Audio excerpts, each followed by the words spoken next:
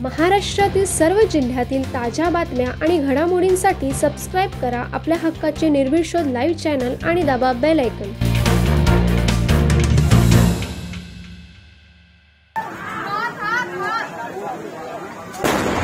दिवाळीच्या सणासुदीत गंभीर अपघात झालाय. मिळालेल्या प्राथमिक माहितीनुसार उल्वे येथील जावळे गावातील घरात भीषण आग लागून सिलेंडरचा स्फोट झालाय. या अपघातात चाळीस वर्षीय महिला मंजू माझी पंधरा वर्षीय मुलगी लक्ष्मी व आठ वर्षाचा मुलगा चेतन यांचा निधन झालेला आहे. आणखीन तीन ते चार जण जखमी झाल्याची माहिती मिळत आहे. या आग लागलेल्या दुकानांमध्ये अवैध सिलेंडर व पेट्रोल विक्री होत असल्याचे समजत आहे. त्यामुळे आगीची तीव्रता वाढली असून व सिलेंडरचे स्फोट झाल्याचे दिसत आहे. याबाबत पुढील तपास उल्वे पोलीस करीत आहेत.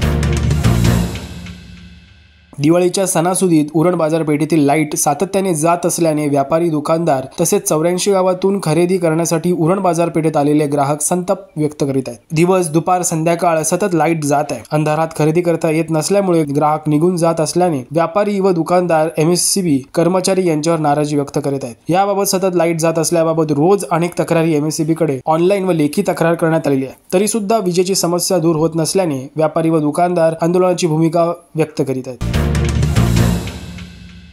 ओएनजीसी उरण प्लांट आणि ग्रामपंचायत नागाव यांनी परस्पर सामंजस्याने मालमत्ता कराचा दोन दशक जुना वाद मिटलाय. यावेळी तीन कोटी दोन हजार आठशे पंच्याऐंशी रुपये कर ओएनजीसी उरणकडून ग्रामपंचायत नागाव यांना देण्यात आलाय. यावेळी ओएनजीसी उरण प्लांटचे अधिकारी व ग्रामपंचायत नागावचे पदाधिकारी उपस्थित होते. संकल्प सामाजिक संस्थेच्या वतीने व सदस्य श्री आनंदजी ठक्कर यांचा वाढदिवसानिमित्त आपली वैयक्तिक सामाजिक जबाबदारी याचा भाग म्हणून नेरेगाव पनवेल येथे स्थित वृद्धाश्रम आणि अनाथाश्रम यांना भेट दिली. यावेळी दैनंदिन गरजा भागवण्यासाठी आवश्यक वस्तू भांडी आणि ताजी फळे व दिवाळीचे साहित्य भेट दिले. यावेळी संकल्पदादा आनंदजी ठक्कर यांचे कौतुक वृद्धाश्रमातील वृद्धांनी केल्याने त्यांचे मन भारावून गेले.